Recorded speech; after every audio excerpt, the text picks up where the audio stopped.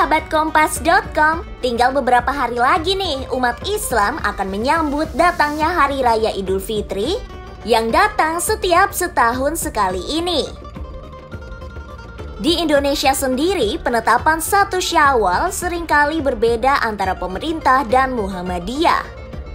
Muhammadiyah sendiri telah mengumumkan penetapan satu Syawal 1443 Hijriah yang jatuh pada Senin 2 Mei 2022. Penetapan satu Syawal 1443 Hijriah menurut Muhammadiyah ini berpedoman pada Majelis Tarjih serta Tajid PP Muhammadiyah. Yang mana ini disesuaikan dari hasil hisap hakiki wujudul hilal. Nah, berbeda dengan Muhammadiyah, hingga kini pemerintah memang belum menetapkan satu syawal. Pasalnya satu syawal menurut pemerintah akan disesuaikan setelah menggelar sidang isbat pada Minggu 1 Mei 2022.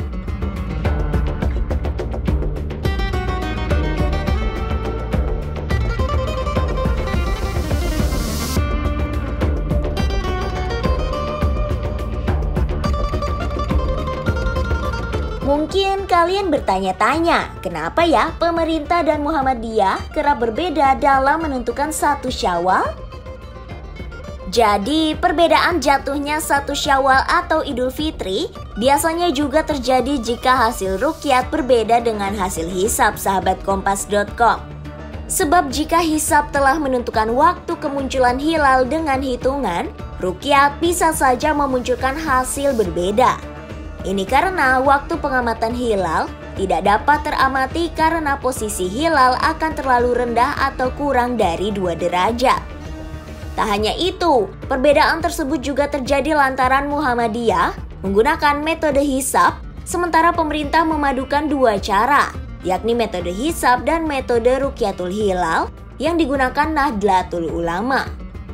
Metode hisap sendiri adalah serangkaian proses perhitungan yang salah satunya bertujuan mengetahui apakah suatu siklus waktu sudah mulai atau belum.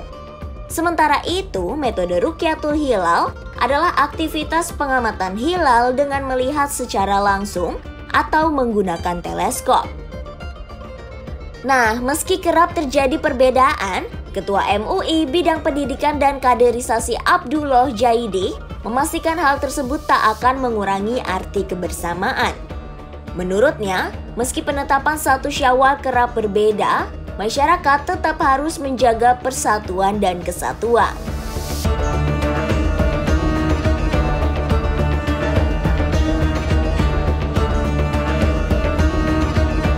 Nah, itu tadi ulasan terkait alasan kenapa Hari Raya Idul Fitri kerap berbeda sahabat kompas.com.